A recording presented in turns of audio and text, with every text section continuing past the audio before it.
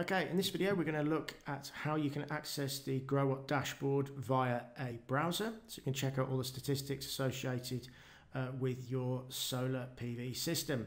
First thing you need to do is to go to ginverter.com and then click on monitoring login at the top right. That'll then take you through to your dashboard. So log in using the access information probably typically provided by your solar installer. Then of course you can change passwords and do everything you like by clicking on your name at the top right um, and making any modifications that you need to. So typically you're going to see the dashboard icon, energy, log and settings. So dashboards when you're going to see a whole range of specific statistics associated with your system. You can look at some graphs under energy and then you can take a look at the log, potentially of any errors and so on that may have happened in the system. So let's have a look at what we've got in front of us here. So on the left hand side you've got device types. This is our hybrid inverter which is obviously required for uh, solar systems which have obviously panels on the roof and indeed it's connected to a battery system. Before I go any further, just give you some insight into the system which is on my roof. I've got a 5.3 kilowatt system, Hyundai panels.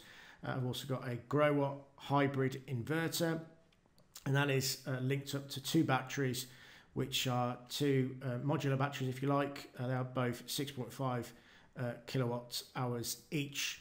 So that's all hooked up here, and as you can see that on the left-hand side, we've got uh, this sort of diagram which shows you what's going on. So this icon in the middle here is the inverter.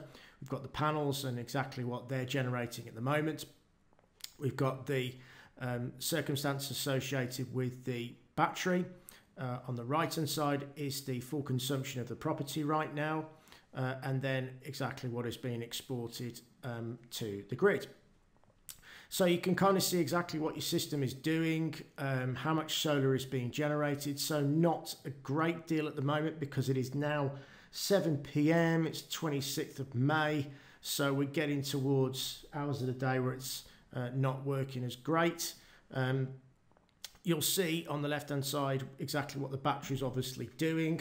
Uh, it's discharging a little bit now because a bit more um, work required uh, in the property, electrical consumption and so on and obviously this just you can keep an eye on this to see exactly what it's going to be doing um, you know during the day and so on. What you've then got the right hand side is the uh, solar icon there. So exactly what the solar system has done. So today it's 12.4 kilowatt hours.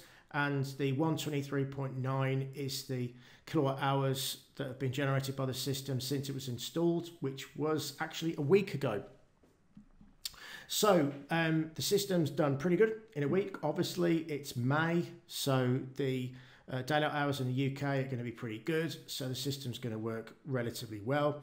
Um, however, the past couple of days have been quite overcast and dull, so they've been a little bit less than the uh, the start of this week.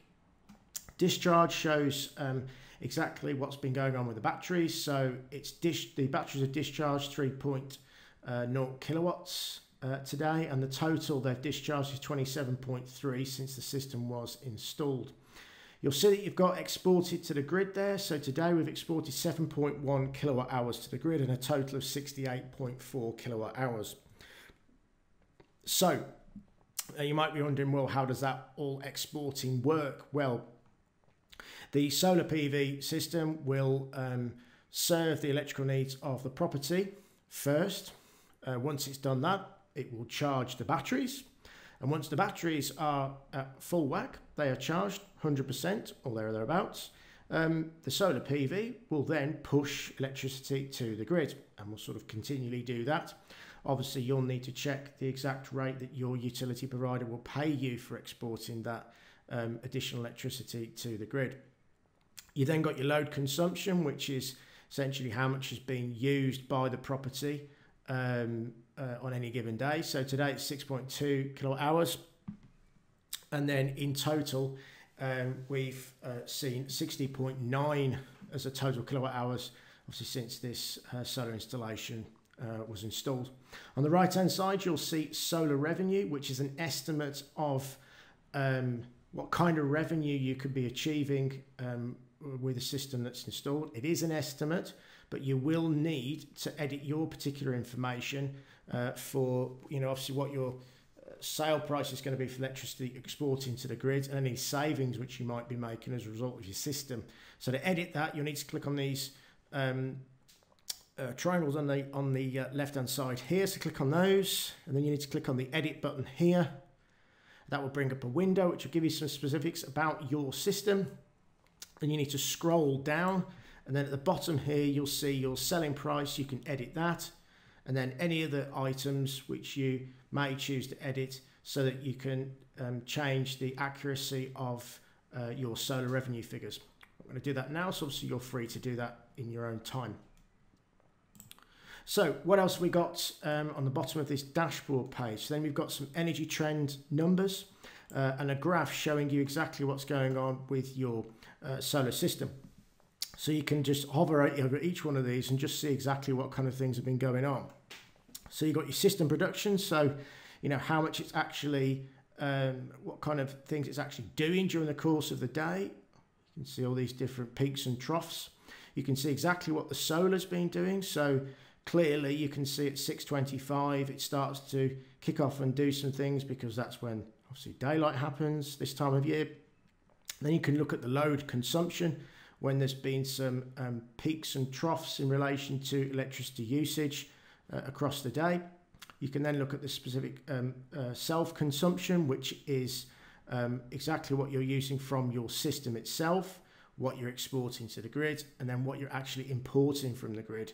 Now you'll notice these spikes that we've got here around about between 6.25 and 8.30 in the morning. Now, what's actually happened here, this will be two showers that have taken place.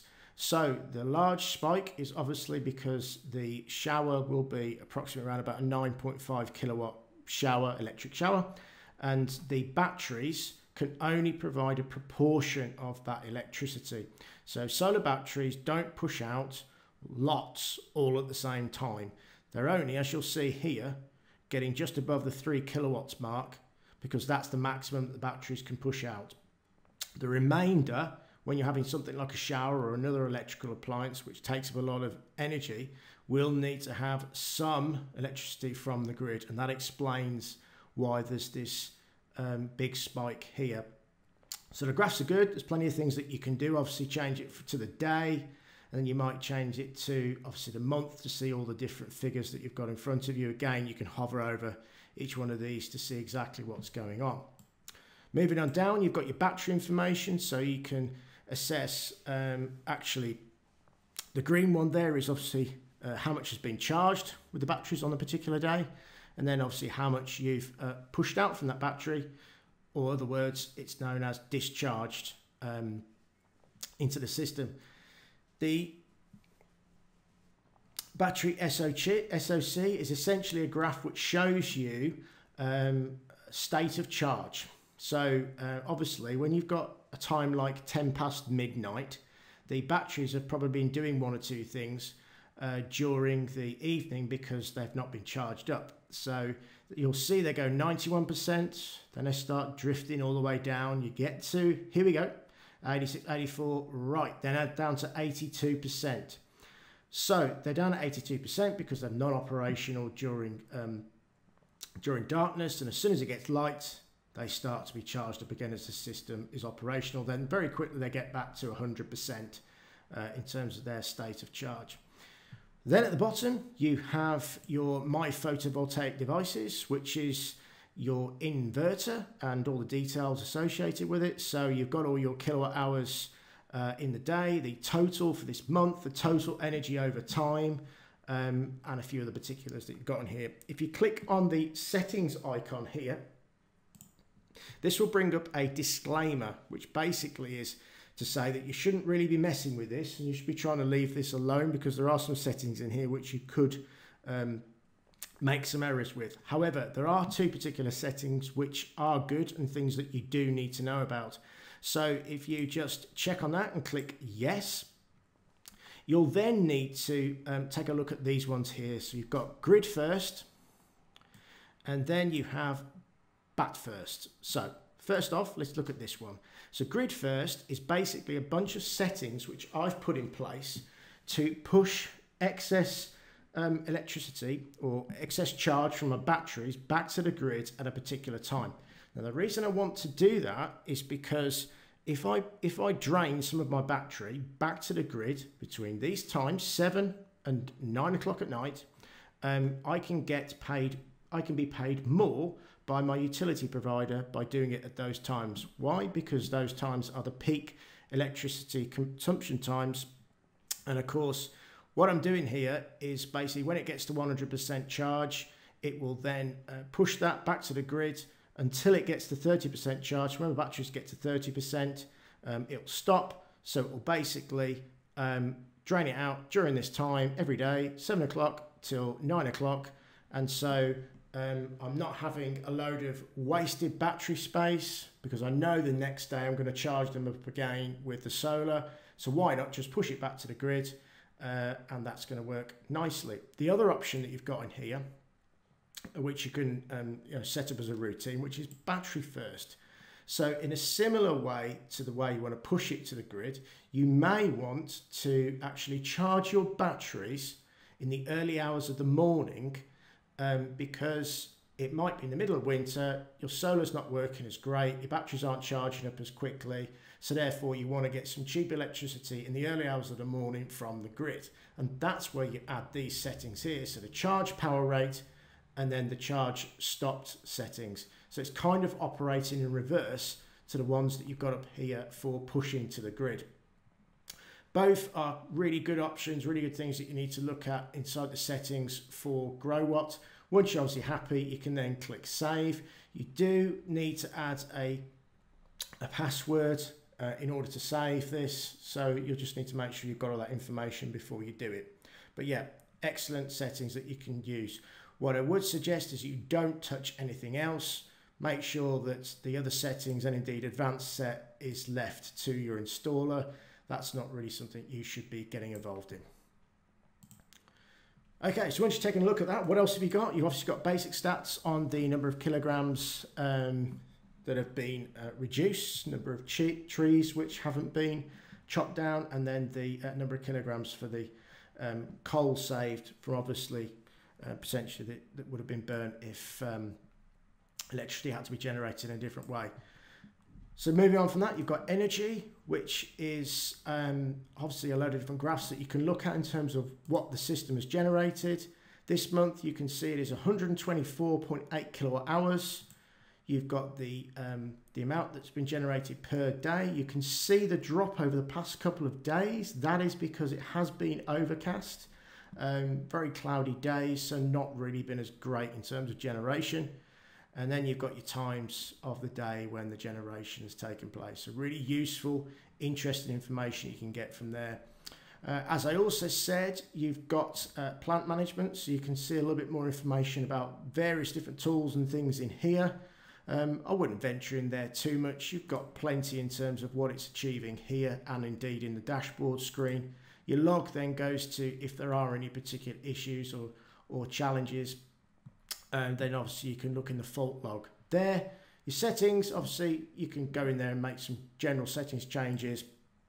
Obviously your passwords, usernames. Um, you can do other things like um, API tokens, things of that nature in here. Uh, but broadly speaking, uh, don't want to be messing around with that too much. Your main areas of focus are going to be inside the dashboard. Look at the numbers, look at the things that are going on, and uh, paying particular attention to what your system is doing, and then the basics of the, the solar system itself, what you're discharging from the battery, um, what you're exporting to the grid, uh, the load consumption, um, and the, the, the solar revenue. Obviously, you might be thinking, you might be, well, how do I go about checking um, whether it's worked pushing electricity back to the grid from the batteries during that 7 p.m. to 9 p.m. window. We can start to look at some of your different graphs uh, and, and actually just looking at, for example, you know, what is the percentage of the battery um, the next day after you've pushed it to the grid. So I'm planning on pushing out at least over 50% of my battery capacity to the grid between seven and nine o'clock at night. So in the morning, when I look at this, um, I'd probably be seeing that the battery percentages has dropped significantly. That's a great way of me checking whether that process has actually worked. So in reality, this is a good bit of kit, great way for you to check what's going on with your solar PV system from um, and your obviously your inverter system and batteries from Growatt.